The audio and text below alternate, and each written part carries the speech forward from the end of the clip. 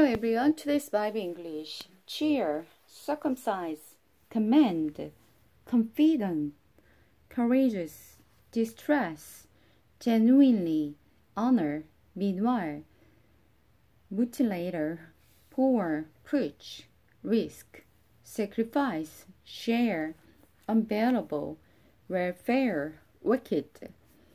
I'm gonna read the Philippians 3rd. Mm, before before I read the Philippians 3rd, I'm gonna read the Philippians 2nd, mm, verse 17. But even if my life is to be poured out like a drunken drink offering to complete the sacrifice of your faithful service, that is, if I am to die for you, I rejoice and I want to share my joy with all of you, and you should be happy about this and rejoice with me. Paul commands Timothy, If the Lord Jesus is willing, I hope to send Timothy to you soon, that when he come back, he can cheer me up by telling me how you are getting along. I have no one else like Timothy who genuinely cared about your welfare but all the other care only for themselves and not for what matters to Jesus Christ. But you know how Timothy has proved himself like a son with his father. He has helped me in preaching the good news. I hope to send him to you just as soon as I find out what is going to happen to me here. And I have confidence from the Lord that I myself will come to see you soon. Paul commands Epes, uh, Epaphroditus.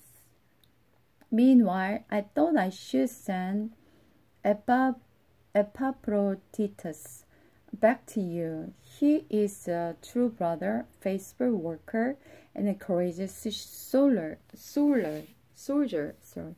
And he was your messenger to help me in my need.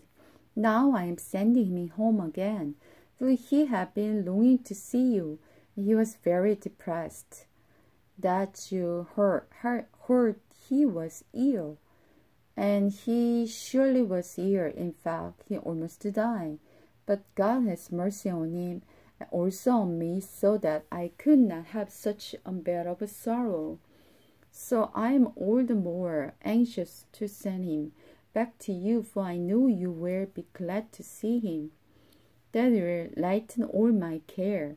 Welcome him with Christian love and with great joy, and be sure to honor people like him. He risked his life for the work of Christ, and he was at the point of death while trying to do for me the things you could do because you were far away. The priceless gain of knowing Christ. Whatever happened, dear brother and sister, may the Lord give you joy. I never get tired of telling you this. I'm do, doing this for your own good. Watch out for those dark, those wicked men and their evil deeds, those mutilators who say you must be circumcised to be saved. Paul commands to people.